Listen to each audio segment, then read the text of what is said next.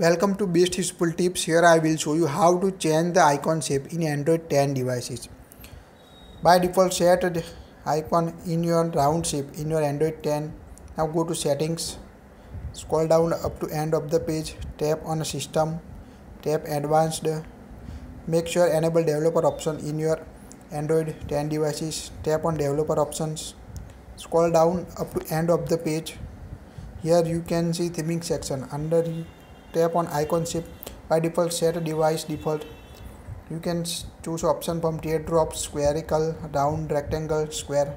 Tap on a by default you can see rounded icon. Now tap on a teardrop. Now you can see change icon shape in your device. Choose squircle. Now you can see square icon in your device now set your favorite icon shape in your Android 10. It's quite easy. That's it. Please like it, share it and subscribe it and don't forget to press bell icon for get latest update.